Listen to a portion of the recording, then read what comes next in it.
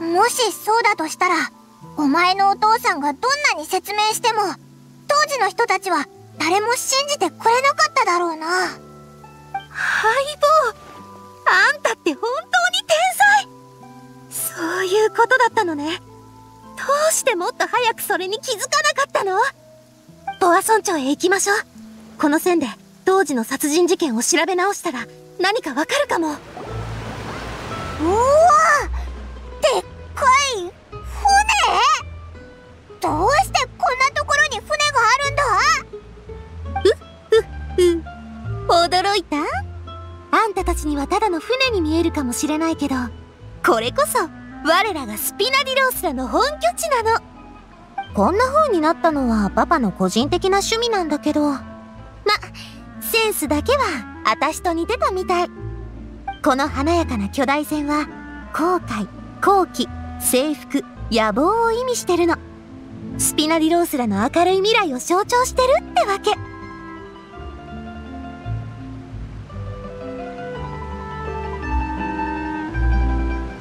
最初ピナディロースらの輝かしい過去を語ってた時はホラでも吹いてるのかと思ってたぞ。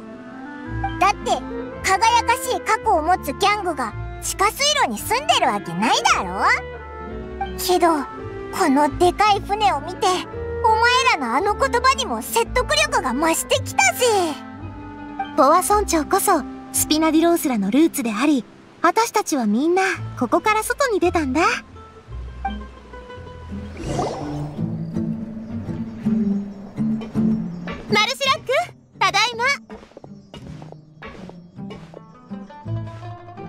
お待ちしておりましたお嬢様。そして大事な相棒も。フォンテーヌ邸に用事があるとおっしゃっていましたがどうしてまたこんなに早くポア村長に？それがね相棒が素晴らしいヒントをくれたのよ。パパの過去の事件が原始大会の水と関係してるかもしれないってね。覚えてる？マルシラック。あの日は雨の降る夜だったでしょ？はいリネ様の状況と似ていてどちらも不可能な事件でした。過去に何があったんだ？うん。何年も前のことなんだけどロシっていうのがポア村町で流行ったの。一見ただの飲み物なんだけど人が飲むと気分が高揚してね。愉快な幻覚がたくさん見えるようになるらしいの。ちょ、ちょっと待った。確か、水になったあの警察隊員も、原始大会の水で薬が作れるって言ってたよなそうね。今になって考えれば、ロシの原材料は原始大会の水だった可能性が高いと思う。そして、長期的にそれを飲むと副作用が出るの。例えば、集中力の低下や情緒が不安定になるとかね。逆に飲むのをやめれば、倦怠感が一日中続いて、理由もなく焦燥感を覚えるようになるみたい。まさに、百害あって一理なしってやつね。ボア村長を管理してたパパは、もちろんこれを黙って見過ごさなかった。そして、ロシを全面的に禁止したの。ボスの強硬な姿勢は、売人の恨みを買いました。ですが脅迫や賄賂を前にしても、ボスは一歩も譲らなかったのです。それどころか、ボスはロシの製造者を特定し、根本からこの件の解決を図ろうとしました。そう。でも相手は狡猾な奴でね。売人は物を売るだけで、その裏に誰がいるのかとかは一切知らなかったの。そこでパパは、長期的な計画を練ることにした。秘密裏に売人と連絡して、ついにそのうちの一人を口説き落としてね。内通者になってもらったの。その人の名前はジャック。ロシのせいでバラバラになった家族をたくさん見てきて、負い目を感じてたみたい。ある夜、パパは郊外の荘園でパーティーを開き、そこでジャックと情報を交換しようとした。けど、庭から2発の銃声が響いたの。それを聞いて私たちが駆けつけると、そこには銃を持ったパパと、撃たれて死んだジャックしかいなかった。え？だよだって二人は手を組んでたんだろ？リレの事件と似てるでしょ？犯人に疑いの余地はなく、いくら考えても犯行の動機が見えてこない。でも、当時はスルーしちゃってたけど、今になって思い返すと、重要な手がかりがそこにはあった。リネの裁判同様、現場に残された服がね。そう、あんたのヒントのおかげだよ。あの服は、ジャックが気づかれないよう変装するための道具だと思ってたけど、今考えると、これは現場に第三者がいた可能性を示唆してる。それに、銃声が2回鳴った理由も改めて考えてみないとね。うん。未解決事件ではあるけど、今なら新たな進展を望めるはず。このまま一気に真実にたどり着けるって、私の直感がそう言ってるよ。ジャックは生前温厚な性格で、自身の行いを何度も懺悔していました。突然裏切るという可能性は低いでしょう。第三者に関する手がかりは真実にたどり着く鍵になるかもしれません。しかし、水を差すようで申し訳ありませんが、ボスとお嬢様の執事である私から、いささか進言したいことがあります。相手は残忍な手段も厭わない難敵です。ボスはその長年の対立により、命を落とされました。スピナリ・ロースラが衰退した今、ポアソン町はようやく得難い安寧を手に入れ、私たちも消されずに済みました。ボスと同じ鉄を踏む必要はありません。ここは賢明なご判断を。これは、ボスの望みでもあります。それがパパの望みなら、本人の口から直接言ってほしかったよ。パパと一番関係が深いのは私のはずなのに、まるで私だけが輪の外にいるみたい。謎をいくつも抱えたまま亡くなったけどさ。それに何の意味があった？それで何を守れたっていうの？ロシもフギのカーレスも、虫の息になったスピナディロースラだってそのまんま。何も変わってない。私がそんな無意味な死を受け入れて、無意味な一生を過ごすことに甘んじるとでも思ったわけ？あの日から、そうしようと思ったことなんてない。一度たりとも。私は、すべての人が受け入れられるような決着をつけたい。失踪者にも、被害者にも、私自身にもね。ナビア。確かに、今はこれ以上ない機会でしょう。お嬢様の相棒もとても頼りになるお方です。そして何より、お嬢様も覚悟が決まっているようにお見受けいたします。やっぱり何か知ってるのね、マルシラック。はい。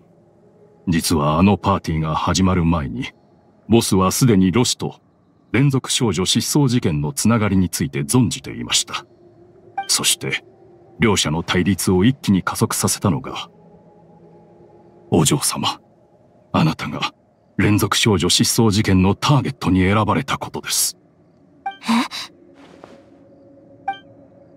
ボスはとても珍しい病気にかかっていました。きっとそれもお嬢様にはお伝えしていなかったことでしょう。しかも、余命5年足らずと、そう医者に宣告されていました。そんなボスにとって、連続少女失踪事件は強い焦燥感を与えたのです。この長く続く争いを解決するには、5年では到底足りません。もしボスが病死すれば、お嬢様は危険にさらされることになります。ですからボスは、相手の行動を牽制するために手にある情報を利用することにしましたボスは重要な犯罪の証拠を握っていると先方に告げその情報をスピナディロースらの一部の人間に伝えるとお嬢様が無事である限りその証拠は公にしないと約束したのですそしてもしお嬢様が失踪すればボスもしくはその秘密を知る人間がすぐにロシと失踪事件について暴露するように手配しました。つまり、痛み分けってことか。事実、その牽制が効いているのは証明されています。ボスが亡くなった今も、相手はお嬢様に手を出してきていません。信じらんない。だって、あのパパが病気だなんて、そんな風には見えなかった衰弱し、息も怠々となった姿を見せたがる親などいません。特にボスの性格であれば、なおさらです。ボスにとって、決闘で死んで不義の名を背負うことになろうとも、娘の前で格好がつかないことより、マシだったのでしょう。そんな。私を守るために、黙って死ぬことを選んだの？お嬢様、あなたはずっと誤解されていたかもしれません。ボスが渡したかったのは、傘ではなく、剣なのです。事件に巻き込まれた全ての人が、受け入れられるような決着をつけたい。もし、それをボスが聞いていたら、きっと、胸を撫で下ろしていたことでしょう。あのバカ親父。一体どんだけ回りくどきゃ気が済むの？いや、むしろ、私が理解できる日をその目で見ること自体、元から期待してなかったんだ。だからこんな手の込んだ準備をしたんでしょう。そんなに私のことを信頼してるの？もし私がここまでたどり着けなかったら、どうするのよ？うん。そうかもね。パパの考えでは、私が望めば、不甲斐ないまま一生を過ごすことができた。でも幸い、パパは私と心から話し合ったことがほとんどなかった。つまり、私のことを分かってなかったのよ。ま、これに関しては、パパの取り越し苦労ってやつかしら。で、マルシラックその肝心な証拠って何なの？ロシの製造場所です。つまり、相手の本拠地となります。かつてボスが交換条件を突きつけた時、この切り札の中身までは相手に明かしていませんでした。しかし、たとえお嬢様がこの切り札を使うにしても、ある大きなデメリットが伴います。うしてだよ場所が分かったなら、あとは乗り込めばいいだけだろ私たちの敵は、数十年も続く危険で謎に満ちた組織ということを忘れないでください。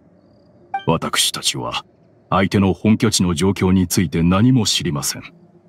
調査でどれほどの手がかりが見つかるかも、どんな人物を捉えることになるかも不明です。さらに一度乗り込んでしまえば、それは相手に宣戦布告をしたも同然となります。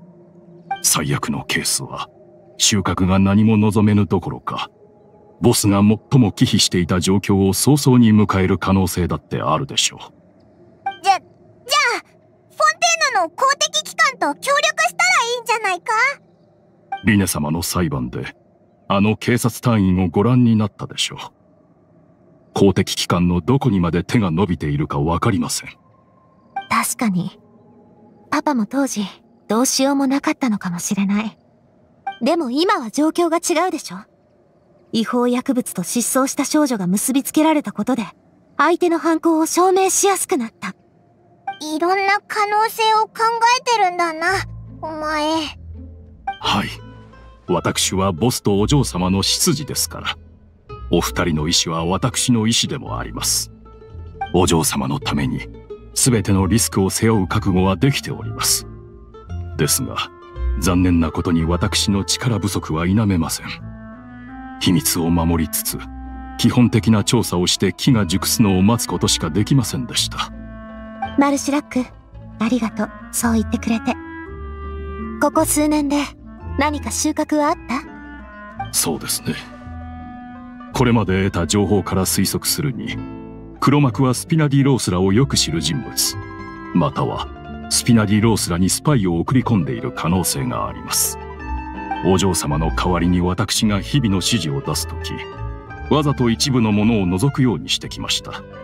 そしてそれに合わせて私はロシの売人の動向を観察してきたのです。もし売人がこちらの動きを知らないようであればその時に指示を受けていた者は白逆に知っていればその中にスパイがいるというわけです。それを繰り返して容疑者を狭めていき手がかりに沿って調査したところこの方法で容疑者を3人にまで絞りました。一人はスピナディ・ロースらの参謀フローレント様です。え？彼が？はい。信じられないのも無理はありません。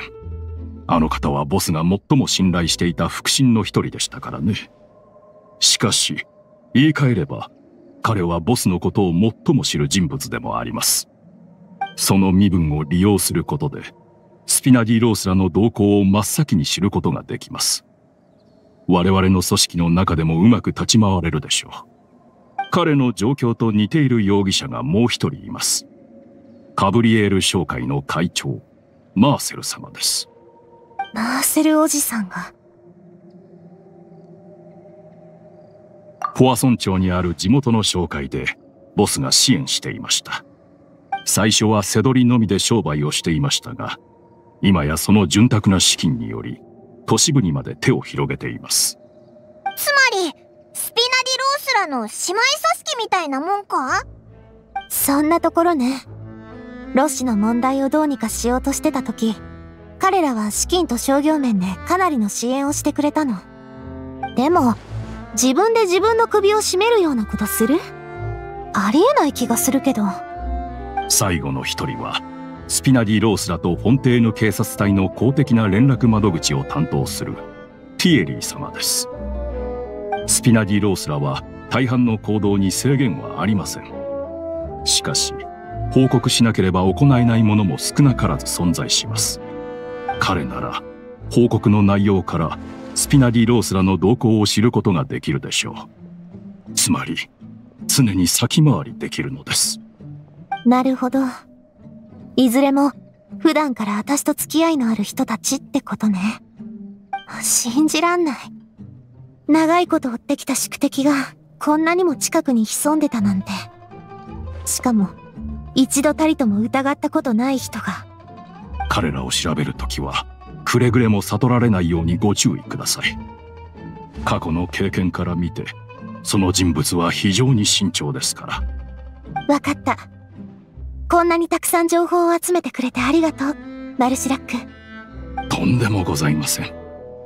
これこそ私の責務ですから。それとボスの汚名を返上するのならジャックの死因も避けては通れません。彼の死後その家族の世話はスピナディ・ロースらがしてきました。今もポアソン町に住んでいます。必要であれば彼らのところまでご案内しましょう。ひひ助かるぜ。お前って頼りになるな。また事件の調査ね相棒。さあ真実を突き止めてやりましょう。私たちが協力すればこの全てに終止符が打てるはずよ。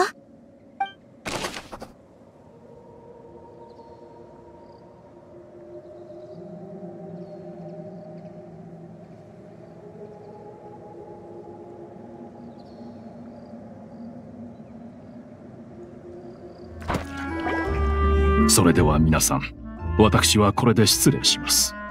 ごゆっくりお話しください。案内してくれてありがとうマルシラック。あのご用件は？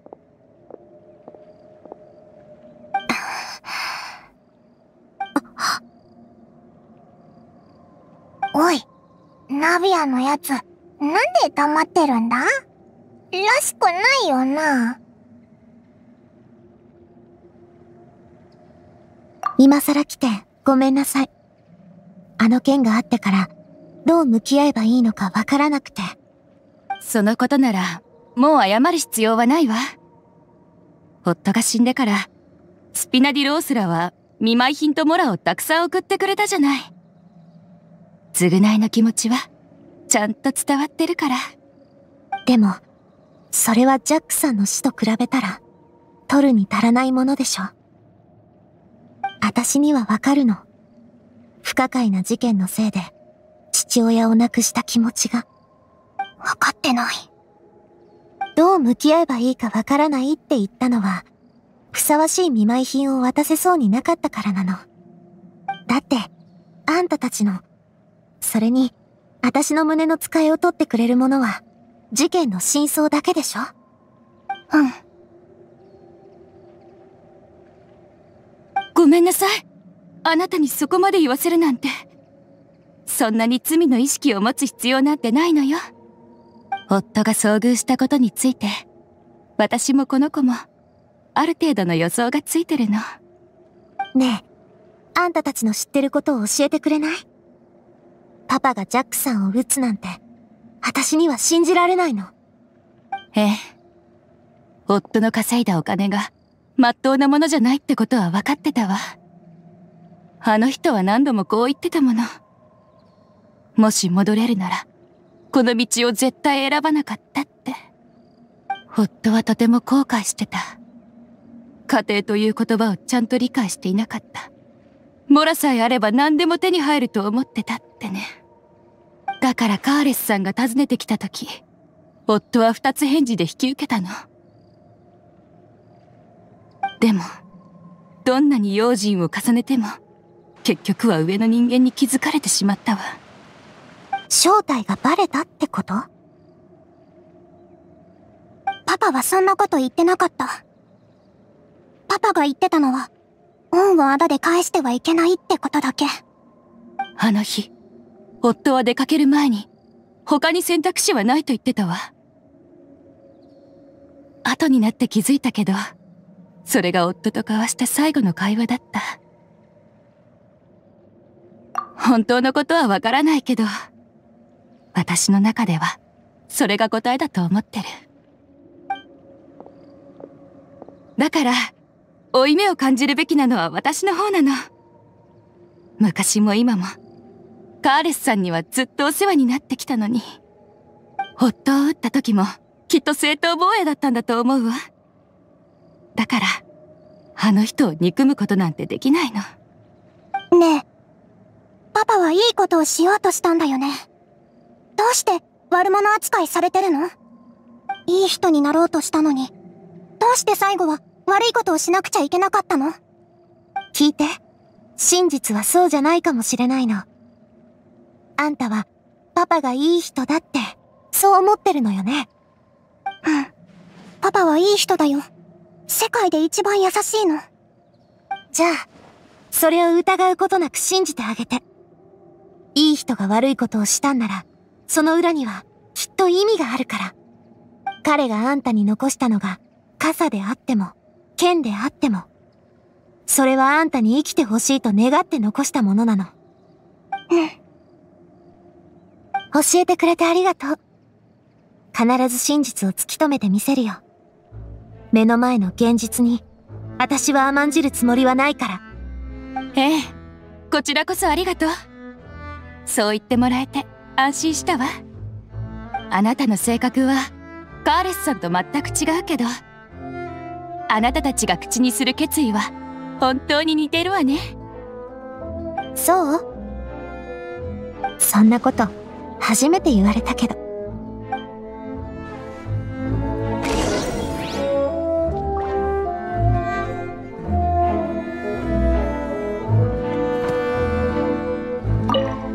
それじゃ夫の件は頼んだわ。お姉ちゃんたちありがとう。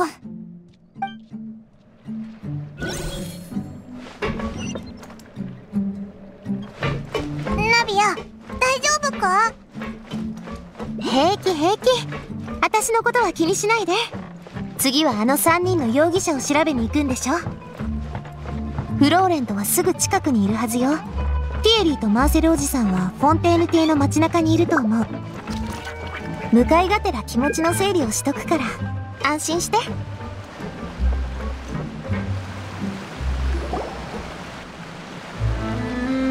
こんにちは。何かご用ですかボス？歌劇場で事件があったのを聞いたでしょ？あの審判の場で水になった人がいるの。ええ。そのような大事件には記者が一斉に飛びつきます噂もすぐに広まりましたよ。でね思い出したの。パパの事件があった日外は雨が降ってて現場には服が残ってたこと。を相棒が助言してくれてね。パパの事件をもう一度洗ってみる必要があると思ってるの。あの夜何があったのか思い出してみてくれない？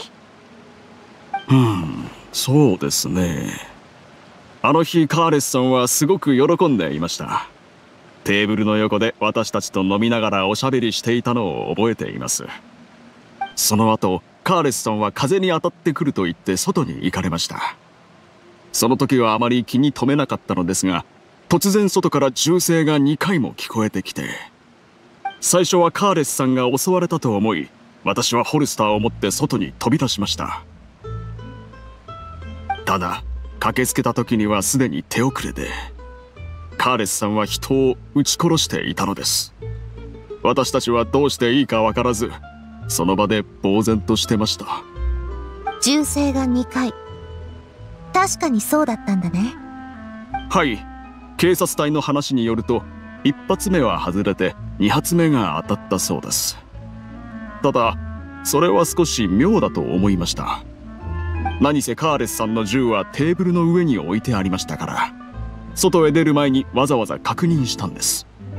ですが警察隊員はカーレスさんが他の銃を持っていた可能性もあると言ってました。先ほど現場に服が残っていたと言っていましたがそれはつまり現場には溶けた第三者がいたということですか。少なくとも私たちの立場から見るとパパは人を殺してない。だから2丁目の銃を持つ必要だってないの。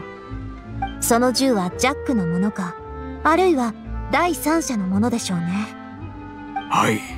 確かに理にはかなっています。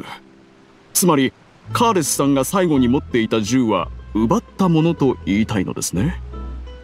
しかしそれも違うでしょう。もし事実に反していたのならどうしてカーレスさんは私たちに教えてくれなかったのですか？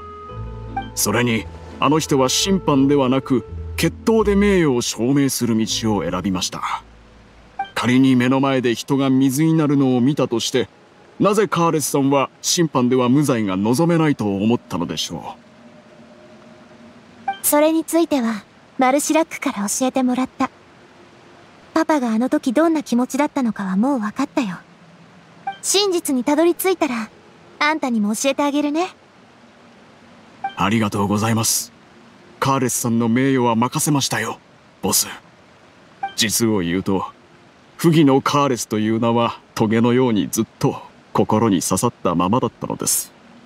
事件から数年間が経った今も私はカーレスさんと呼び続けています。ですが固執しすぎだと多くの人に笑われてきました。しかしカーレスさんの信頼がなければ私は今のような生活を送れていません。スピナディロースラでの地位も他人にどう言われようとカーレスさんはいつだって私の最も尊敬する人物。永遠に私のボスなのです。安心して。きっと真実は明らかになるから。あんただけじゃない。スピナディロースラの他の兄弟たちもみんな決着を待ち望んでる。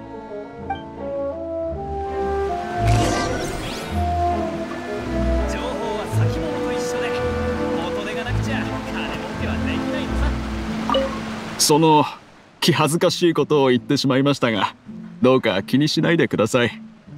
事件から長い時間が経ちましたがなかなか気持ちを打ち明けられる機会がなかったものですから。やピエリー。おやナビア城じゃないか。これはこれはどういう風の吹き回しだ？最近歌劇場で大活躍してみんなに深い印象を残したって聞いたぜ なんだ。随分と耳が早いじゃん。俺も一応警察隊の一員だからな。それにしてもなんだその言い方。まるで俺が何かやらかしたせいでポア村長に厄介払いの出向をさせられてるみたいじゃないか。そいつはどうだろうね。何か特別な事情でもなきゃあんたの職場はとっくにここに戻ってるはずでしょ。別に戻ろうと思えばいつだって戻れるのさけどなんつうかポア村長には不思議な味ってもんがあるだろカーレスさんはポア村長を実によく管理してたんだぜ。スピナディロースラをそつなく運営してた上に俺が処理するはずだった面倒事もいろいろと減らしてくれた。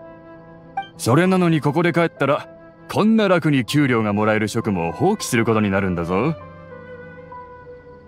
まあ雑談はここまでにしてそっちの二人はお前の友達かい？俺に何か用か？うん。こいつらは私の相棒でね。歌劇場の事件のことがあってからあれがパパの件と関係してるんじゃないかって思うようになったの。だから今パパの件を調べ直しててね。おおそうだったのか。人が解けるってやつだよな。最初にこれを聞いた時は俺もかなり驚いたよ。もし当時の資料が欲しけりゃ何とかしてやろうあんがとあそうだ。あんた警察隊の警備ロボって動かせる？そりゃもちろんさ。ポア村長はでっかいからな。俺一人で手が回るはずもないだろ。なんでまたそんなこと聞くんだ。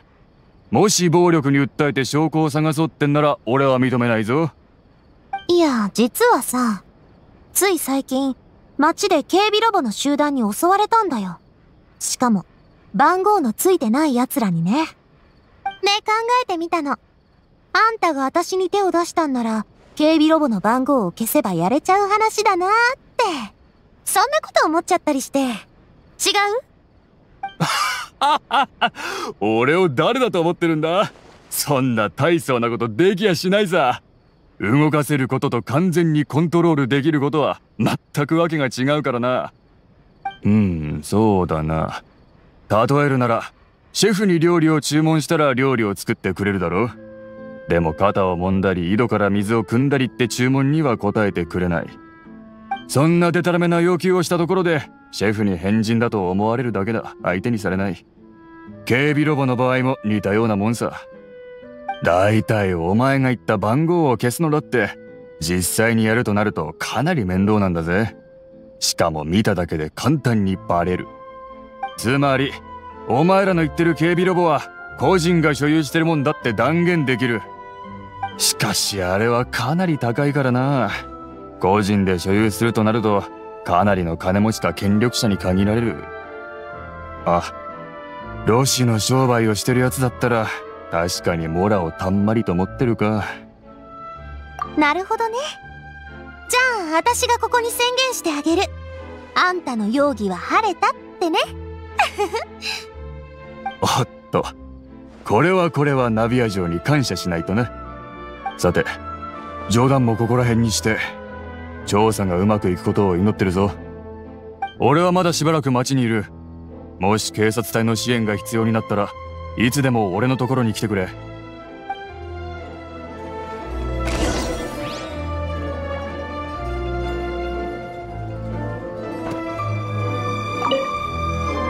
警察隊に関することなら何とか融通を聞かせてやるでも誰にも言うなよスピナディロースらの特別待遇ってことでな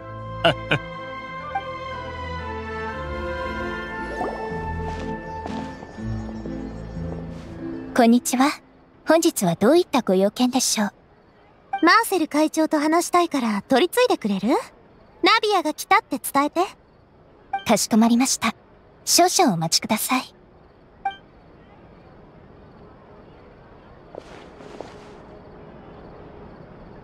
どうもどうも、すまんな、待たせてしまって。年を取ったせいか、足があまり言うことを聞かなくて。大丈夫、そう慌てなくてもいいって。歌劇場での出来事について、あんたと少し話したいの。あんた、全部見てたでしょ？ええ、まったく。あれほど常軌を逸した場面など見たことない。あの時、お前も歌劇場にいたのか？ああ、私はナビアと共にあのマジックショーを見に行っててな。まさか、あんなことが起こるとは思わなかったが。君たちの素晴らしい推理も見させてもらったよ。実に見事なものだった。あの場所で水神様を論破するとは。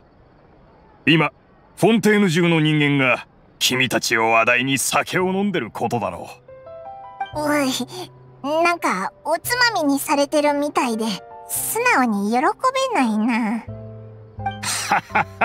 すまんすまん。フォンテーヌとはこのような場所でな、仕方あるまい。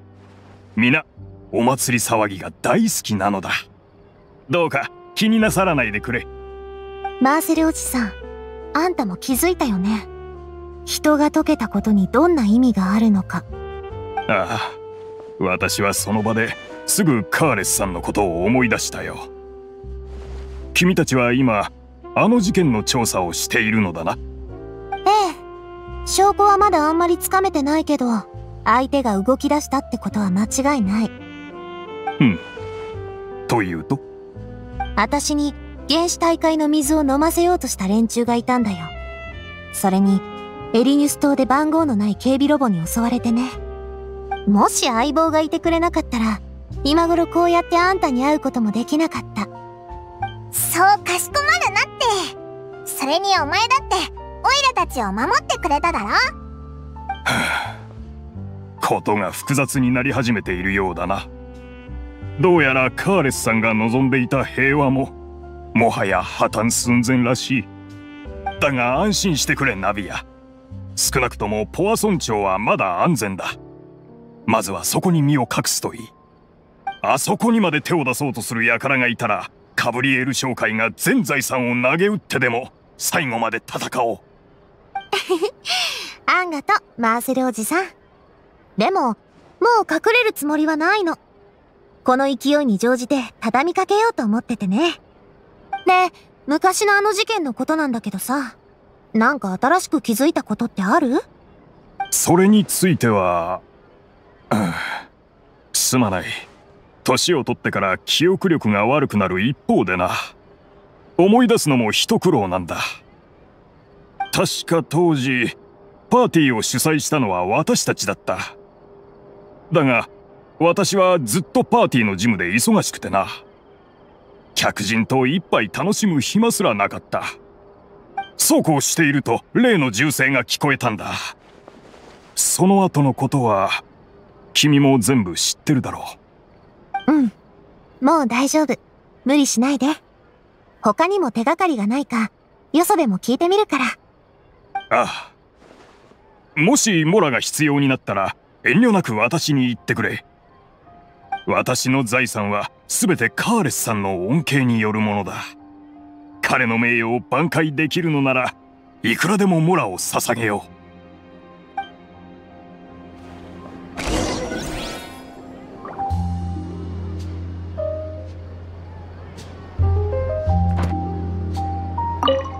カーレスさんあんなにいい人だったのに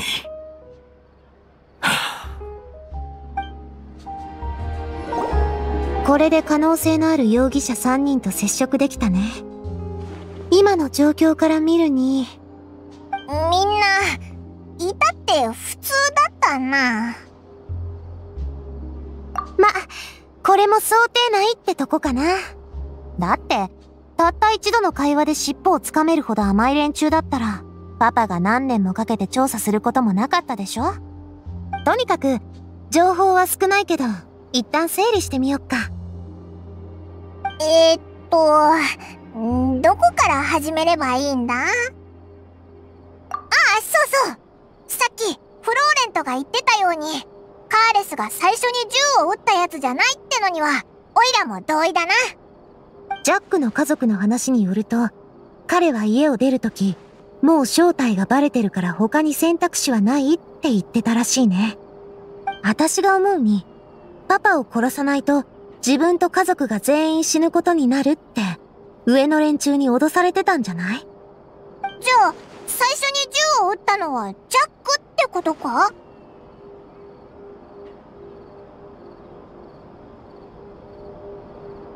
へえ、どうして？そ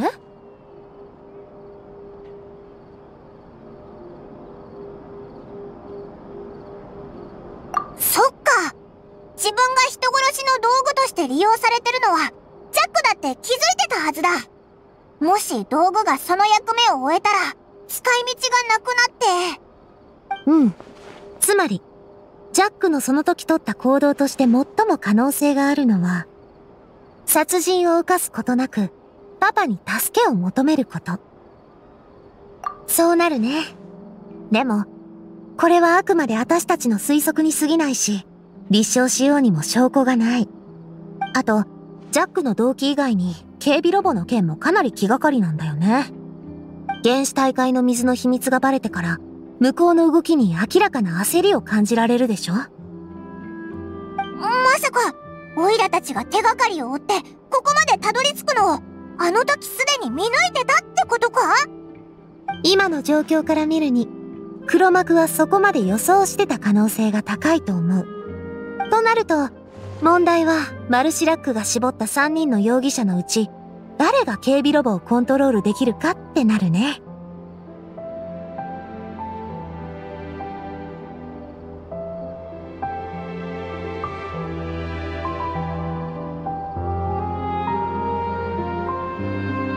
マーセルおじさん？うん。確かにパパは彼のことをかなり信用してたし、生前はいろいろと協力してた。そのつながりがあれば、ジャックの正体を知ることだってできたかもしれない。それに、カブリエール商会の財力なら、警備ロボも十分な数を変えるはずだし。でも、ちょっと想像できないかな。マーセルおじさんは私が子供の頃からずっとそばにいてくれた人だし。しかも、もし彼が黒幕だったら、ずっとモラと労力をかけてロシの商売を自分で妨害してきたってことになるでしょ？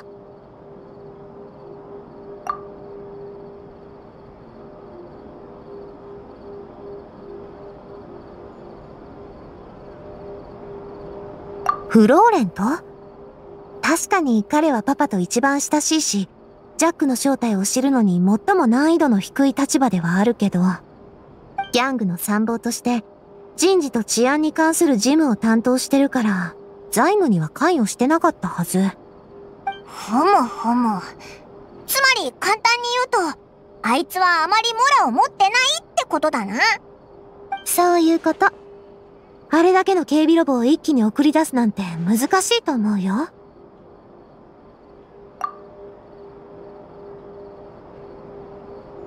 ティエリー？なるほど。もしかしたら警備ロボを使用で使う手段を持ってるかもしれないね。でも、警備ロボの話は本当っぽかったし、嘘をついてるようにも見えなかったかな。確かにそうだな。それに、もし嘘をついてたら、警察隊に行って調べれば一発アウトだし。どっかの警備ロボがなくなったら、すぐに足がつきそうだしな。はあ、まったく、誰が黒幕なの？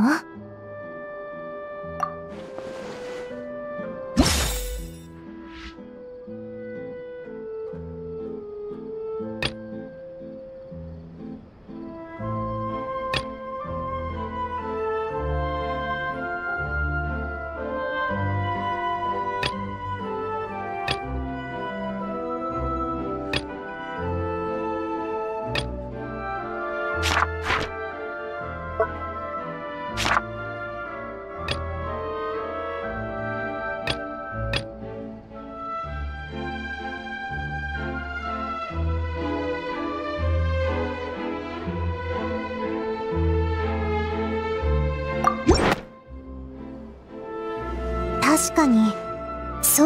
えると、一番可能性があるのはやっぱりマーセルおじさんかな。容疑者を絞りすぎたって可能性はないか？マルシラックのやつがあいつらに目をつけた時、人が溶けるっていう事実をまだ知らなかっただろ？ううんうん。マルシラックはかなり慎重なやつなの。理由もなく容疑者を排除したりしないと思う。彼が判断した根拠もちゃんと筋が通ってるしね。スピナディロースらの動きを把握し、警備ロボを利用できるほどの財力を持っていて、かつ思慮深く先を見通せる人物。心の中でどんだけ否定しても、この推理は疑いようがない。推理とか推測ばっかしてても、話は進まないと思うぞ。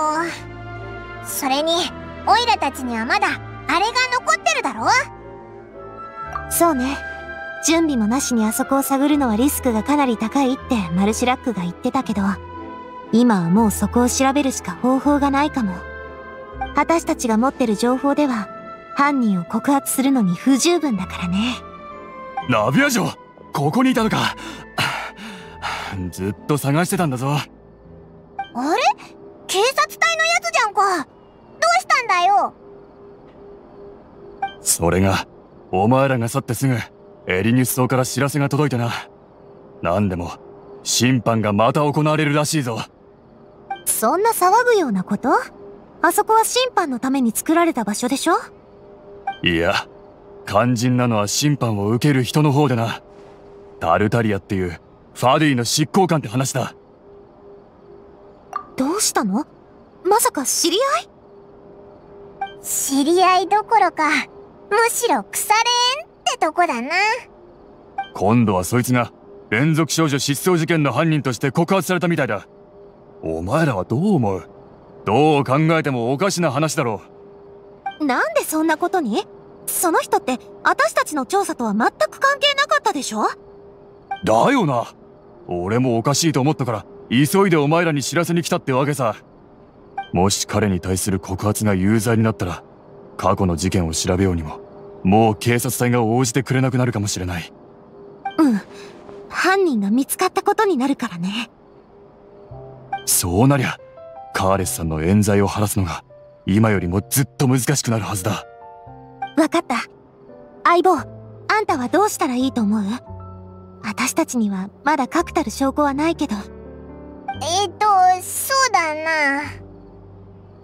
手分けって？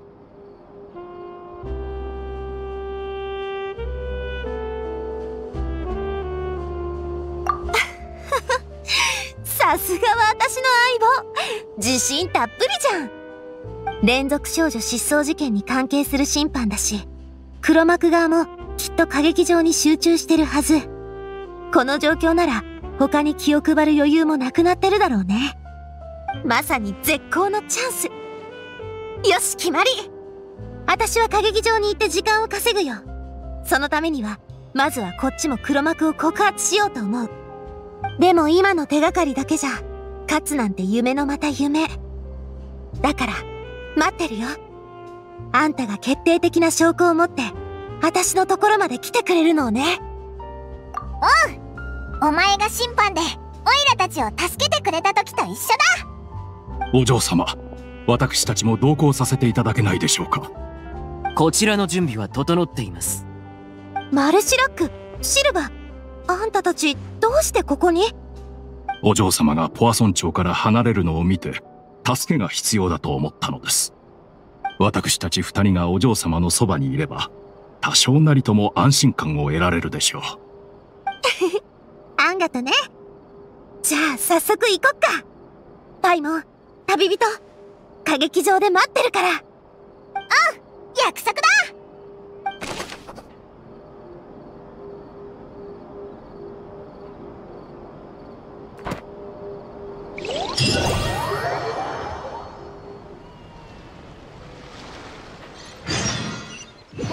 行ったしオイラたちも早速行動しようぜ。目的地はマップに載ってるからとりあえずそこに向かってみよう。マルシラックの情報によるとロシを作ってる場所は水中にあるみたいだ。行こう。入って探そうぜ。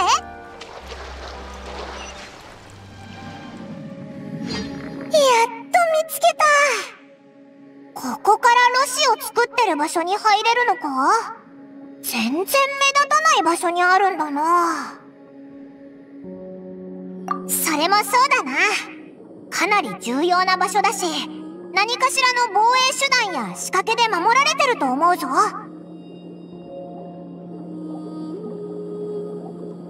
今頃きっとナビアは激しい討論を繰り広げてるだろうな。オイラたちの時間を稼ぐために。